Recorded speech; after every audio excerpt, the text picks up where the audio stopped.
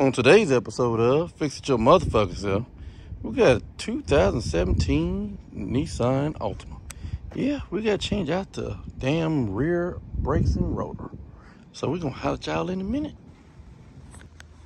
First, you're going to need to jack up the car.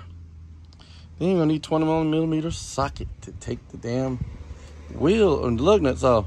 And if you have a lock, you're going to need the, you know, adapter for to take the lock key off. So, we're gonna hot y'all in a minute. Now what you're gonna do, get you a 14 millimeter and get these two off. We already compressed the caliper in. Uh, use old C-clamp here. Yep, compress the caliper in. So, yeah, now we're just gonna get to it. This side's not, the customer didn't want to get this side done because it really didn't need it. Now the other side is a whole nother story. So, we're gonna hot y'all in a minute. All right, as y'all can see, we got new brake pads in. We're gonna grease old caliper slide pins with some old silicone paste so these motherfuckers won't dry out. Yeah, so we're gonna holler at y'all in a minute. Y'all can see we got the old thing back together. So we're gonna put the wheel on and get on to the other side. Holler at y'all in a minute. This is the rotor for the other side.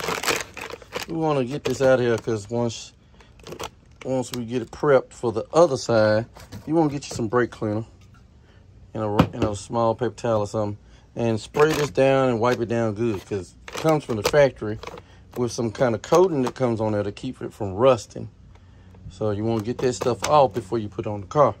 So we're going to do that, get it prepped up for the other side and call it a day. Holler at y'all in a minute.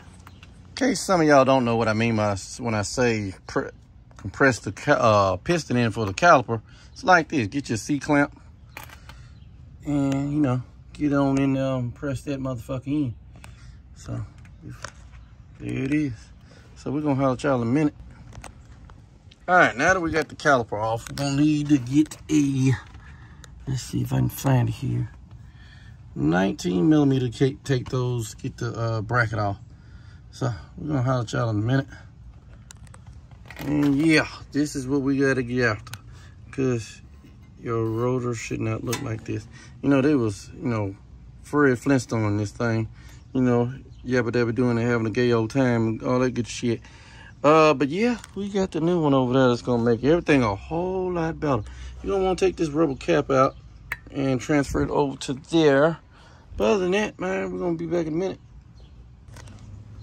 Ladies and gentlemen, don't let your brakes get like this. And mm, there's nothing there. I'm just saying, this is dangerous for you and everybody else. So, we're gonna holler at y'all in a minute. Well, ladies and gentlemen, that's what it looked like once you get new shit on. So, we're gonna holler at y'all in a minute. Well, ladies and gentlemen, this concludes this episode of Fix It Your Motherfucker Self on the 2017 Nissan Altima. Till the next time, y'all be careful out in these streets.